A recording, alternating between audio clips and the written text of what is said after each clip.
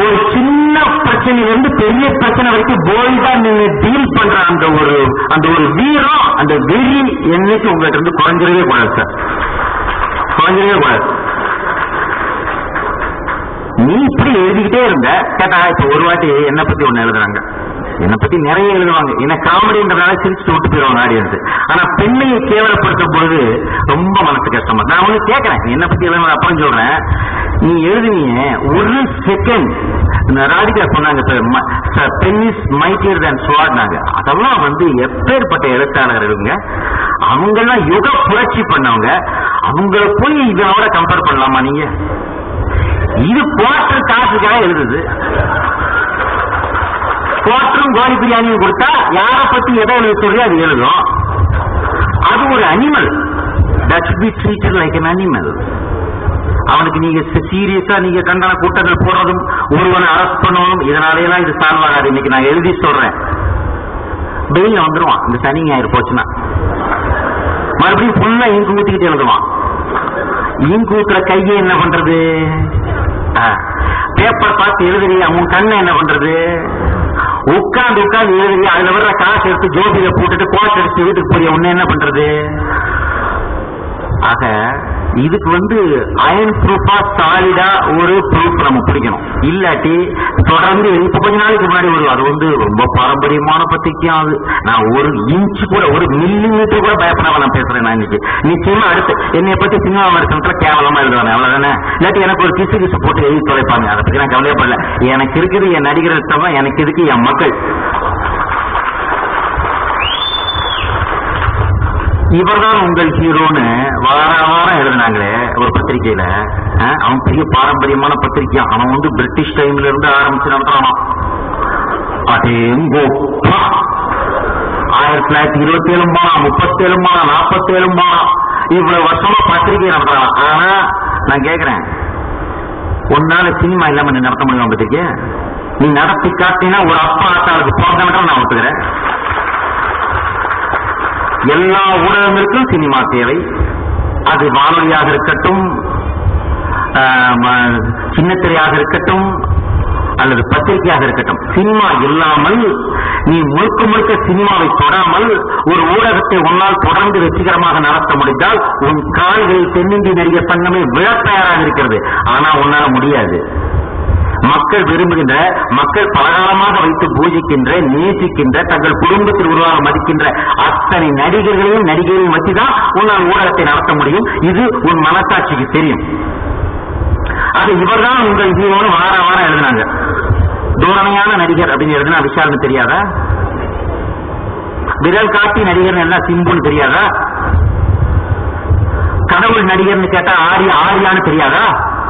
வாரா ஒரு ஒவ்வொரு நடிகனை கிளி கிளி கிழிச்சு இவர்தான் உங்கள் ஹீரோன்னு எழுதினானே. அப்ப என்ன நடவடிக்கை எடுக்க முடிஞ்சது?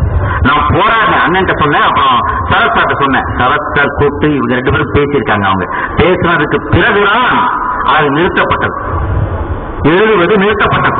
இதற்கு நீங்கள் கரகோஷம் கொடுக்கலாம்.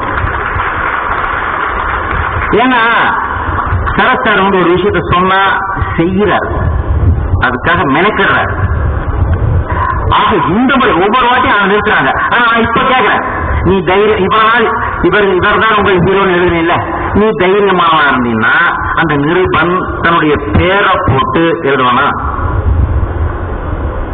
உங்க அப்பா அம்மா புரிவா இருந்ததுன்னா நீ தைரியமானவனா இருந்தீங்கன்னா உன் பேரை போடு. வா தைரியமா தான் இங்க வந்து நான் தான் எழுதுறேன் இல்ல எனக்கு என்கிட்ட சாட்சி இருக்கிறான் ப்ரூஃப் இருக்கிறான் என்கிட்ட ப்ரூஃப் இருக்கு. நான் தான் எழுதுன்னு சொல்லு அப்ப நீ பத்திரிக்கை அப்போ உங்க அக்காவை பத்தி எழுது. உங்க உமாவை பத்தி எழுது. உங்க பாட்டி ஆயாவை பத்தி எழுது. எங்க ஆயா குளித்துக் கொண்டிருக்கும் பொழுதுன்னு எழுது. ஏன்னா திருச்சா குளிச்சதை மட்டும் எழுதினாரா ஆயா குளிச்சது எழுதுறாங்க ஆயா?